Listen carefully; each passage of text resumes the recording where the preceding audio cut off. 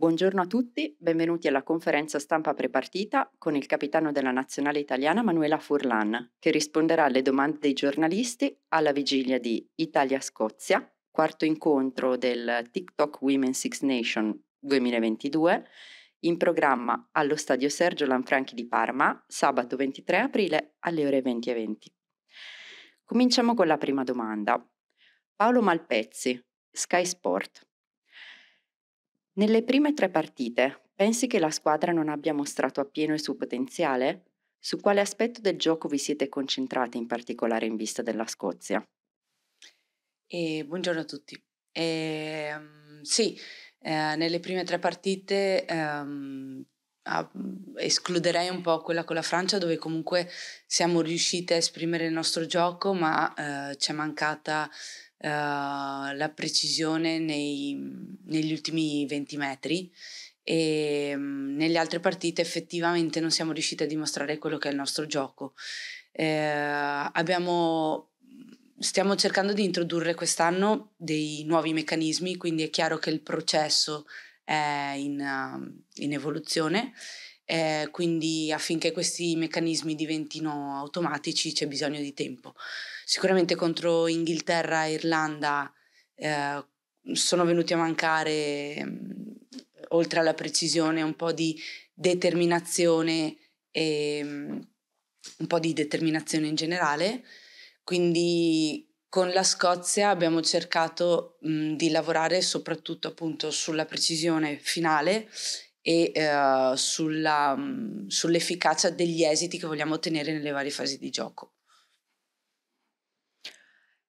La notizia dei nuovi contratti è molto importante per il futuro del movimento italiano. Ha portato anche una maggiore serenità nell'immediato tra di voi? Allora, sicuramente in ottica futura è un primo fondamentale passo.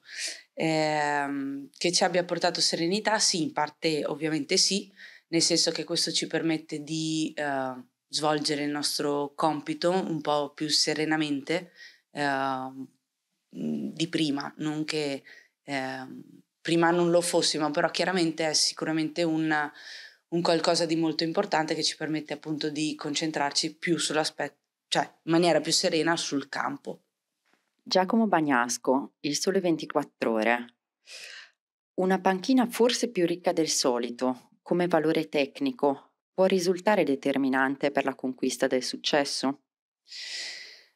Ma ehm, sicuramente eh, ci sono dei rientri molto importanti ehm, all'interno del gruppo, ma credo che ehm, tutta la nostra rosa sia formata da ehm, elementi più che, eh, più, che vali, più che validi a livello tecnico e a livello di gruppo. Quindi ehm, fortunatamente, se vogliamo, eh, c'è molta eh, come, come, dire, competitività, quindi eh, è sempre bello quando un allenatore si trova di fronte a delle scelte, a dover fare delle scelte.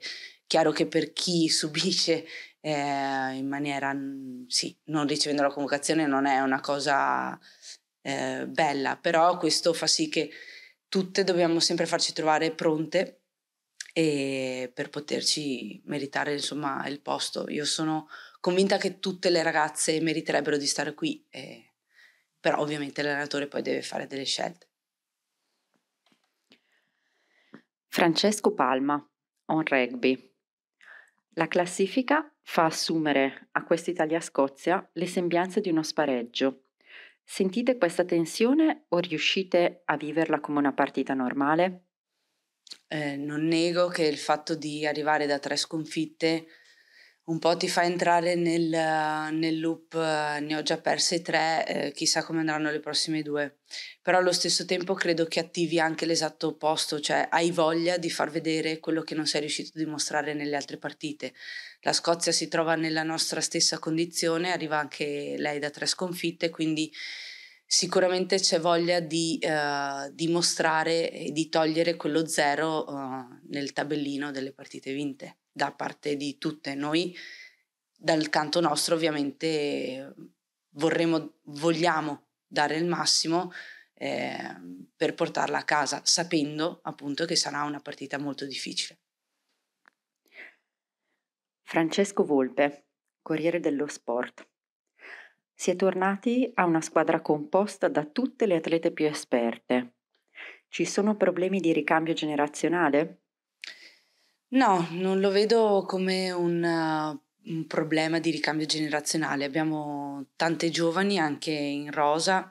E, um, semplicemente c'è un rientro da parte di alcune che erano fuori per infortunio che da, un, da una parte una, un, sono rientri comunque importanti al, per il gruppo e dall'altro uh, direi che ehm, sicuramente eh, possono, cioè tutti possono essere d'aiuto, sia le atlete più esperte che quelle più giovani. Non, non parlerei in questo caso di problemi di ricambio generazionale.